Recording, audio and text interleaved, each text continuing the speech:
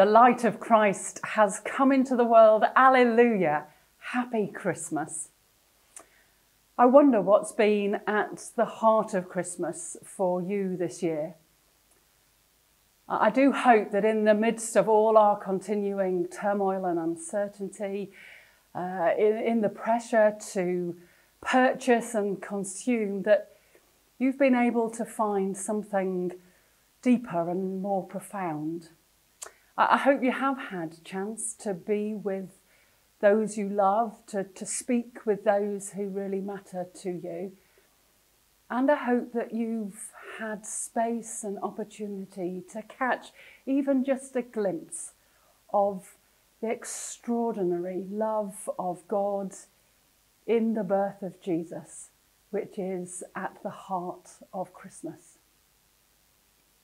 On Christmas Day, we change the decorations in our house uh, we add colour and bling and we complete our nativity sets with images of Jesus in the manger.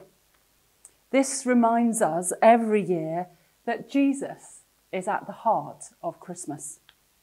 An ordinary, vulnerable baby, born in temporary accommodation to an unmarried mother, welcomed by those who were outcast and alien. And in that child, we see the face of God, who came among us to offer us life in all its fullness.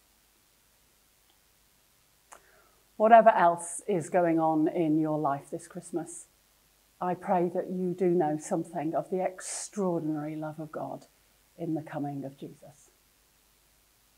Jesus, born among us, may your life changing love be at the heart of our lives this Christmas and always. Amen.